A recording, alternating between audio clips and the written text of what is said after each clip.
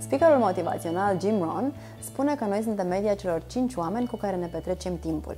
Ei ne influențează capacitatea de decizie, felul în care vedem lucrurile și încrederea în noi. De aceea este extrem de important să fim înconjurați de oameni inteligenți, oameni empatici, oameni generoși, oameni care cred în noi și sunt acolo atunci când avem nevoie. De aceea invitația mea pentru voi este să faceți o analiză a oamenilor de care sunteți înconjurați, a oamenilor cu care petreceți timp și la final să vedeți dacă sunteți mulțumiți cu ce a ieșit.